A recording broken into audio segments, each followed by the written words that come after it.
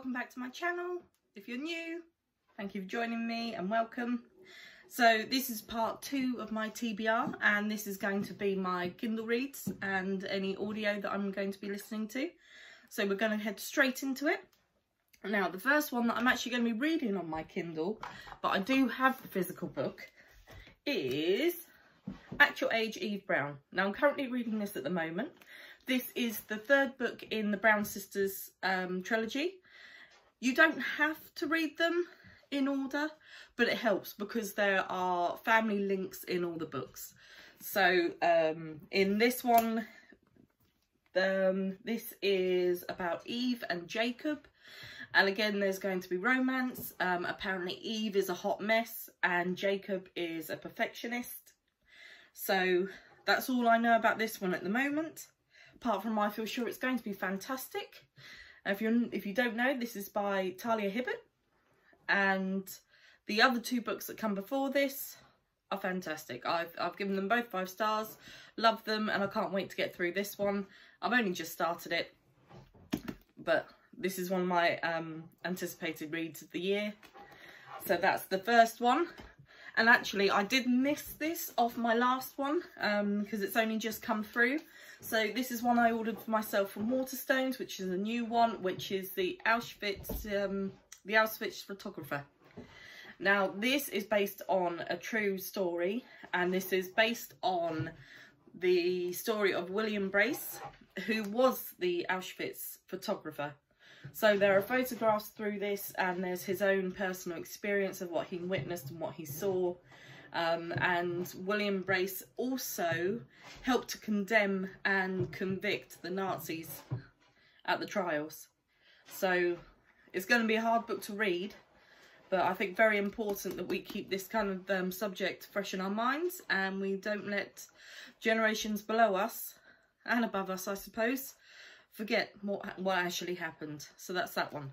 Now, we will get into the proper Kindle reads. So the next one which I will put the picture up, is uh, The Girl I've Been. Sorry, I have some I have some notes on my Kindle. So it's the the Girls I've Been, and it's by Tess Sharpe. Now this is uh, kind of a wrong place, wrong time YA.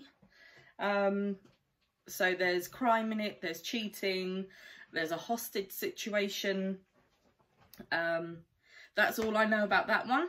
The cover looks fantastic. I hope you agree. So yeah, this is a YA. This is another one I'm reading. This is another one that I actually got from a recommendation. Um, so fingers crossed on that one. The next one is The 13th Tale. And this is by Diane Setterfield. Now this is, is coming across as a gothic fantasy. So kind of dark.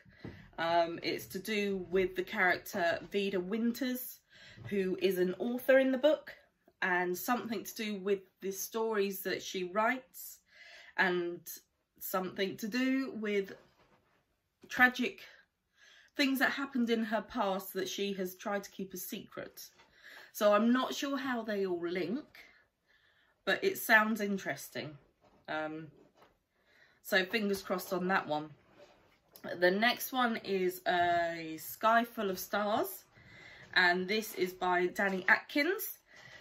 Now this is uh, the characters in this, the main ones are Alex and Lisa and there is a tragedy that happens that Lisa passes away and to make it even more tragic if you could get there, they had finally found their happiness. You know, they had the house, the family, the children, they had everything. And then a tragic event happened and Lisa passed away. Now this is um, about a group of people that come together through a tragic event. So this is classed as a romance.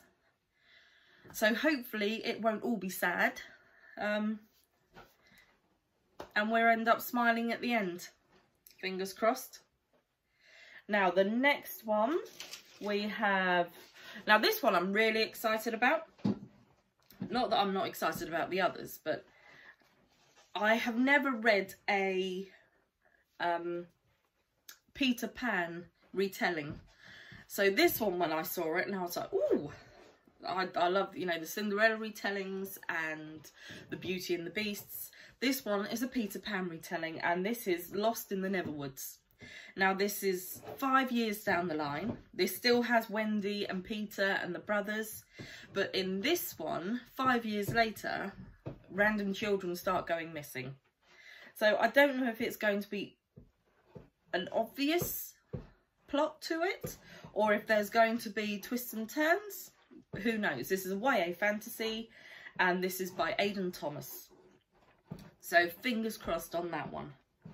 Um, now, I know that I'm generally, I'll probably find other books to read um, as I'm going throughout the month.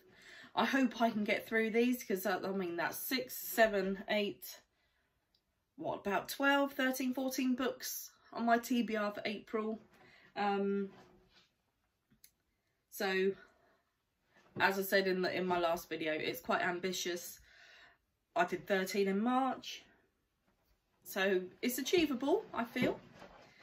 But that is my part two. Now, if you have any recommendations, uh, obviously we're in spring, summer's coming very quickly.